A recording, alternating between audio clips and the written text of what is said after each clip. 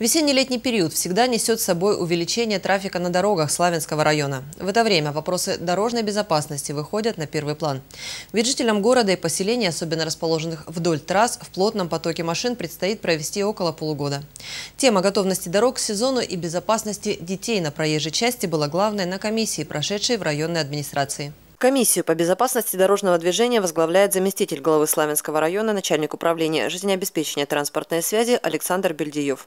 Для участия в ней были приглашены главы поселений района, представители отрасли образования и госавтоинспекции.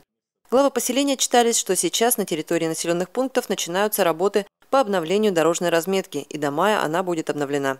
Основным же обсуждаемым вопросом комиссии стало обеспечение дорожной безопасности детей и подростков. По данным ГИБДД, за три месяца 2019 года на территории Славянского района произошло 7 ДТП с участием детей до 16 лет.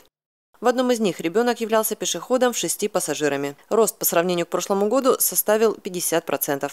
Сотрудники дорожной инспекции регулярно проводят акции в школах района и сами учащиеся уже хорошо понимают важность внимания на дороге. Но вот статистика, которую показала проведение оперативно-профилактических акций, направленных на обеспечение безопасности детей и пассажиров, не радует. По данному направлению проходило 13 профилактических мероприятий. Это также декада безопасности, юный пешеход, присоединителей не очень много. Из э, всего этого за три месяца сотрудниками ДПС ГИБДД выявлено 100 административных правонарушений. Методично организованная работа с детьми дает результат, но стоит помнить и о том, что водительская культура в не меньшей степени влияет на безаварийность движения. Так, по данным Управления образования, самым травматично опасным является переход в районе 4 школы.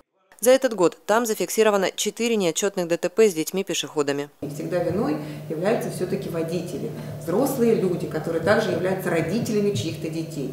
И проводя профилактическую работу, мы в первую очередь сейчас пытаемся все-таки делить э, эту, это направление. С одной стороны у нас дети, где они массово загружены, начиная от профилактических акций, их на самом деле 13, они у нас все в течение года расписаны.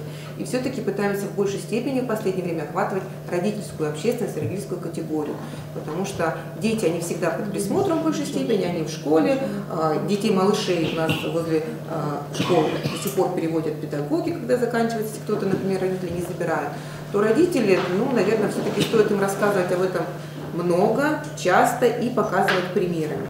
Ежегодно Управление образования проводит большое родительское собрание при главе района по вопросам дорожной безопасности детей. И стоит отметить, реальные примеры оказывают на родителей большое влияние. В этом году управление выступает с предложением организовать подобные собрания и во всех поселениях, чтобы заострить внимание взрослых на том, что от их поведения на дороге, как пешеходов и водителей, зависит жизнь детей. Мария Климова, Игорь Ванчугов, программа «События».